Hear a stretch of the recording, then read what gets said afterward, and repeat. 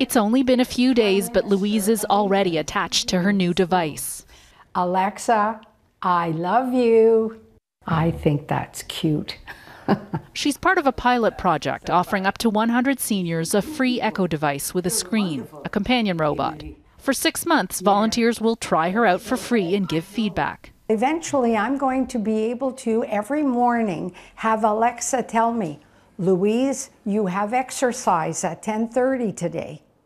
Or there's a bingo this afternoon. It's a partnership with Connected Canadians, a nonprofit whose mission is to help seniors get really comfortable with new technology.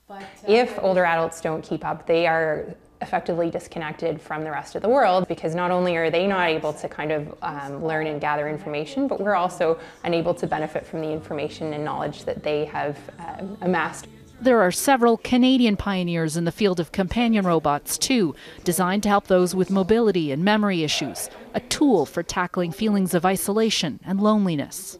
So the idea is deploying these robots there uh, for the well-being, uh, mental well-being, but also in terms of uh, reducing the level of anxiety and providing this layer of companionship. Pilot project devices don't store personal information, but experts, including Ontario's former privacy commissioner, worry about the lack of consumer protection as artificial intelligence becomes more popular. Yeah, I'm a big tech fan but you always have to know what's going on. You can't just take for granted that that which you intended is actually taking place.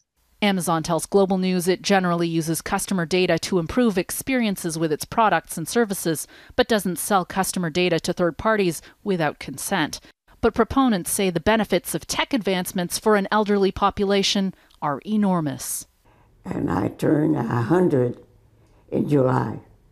Including this centenarian who makes oh, voice calls to keep her social calendar filled. So I use Alexa uh, at least five times last night.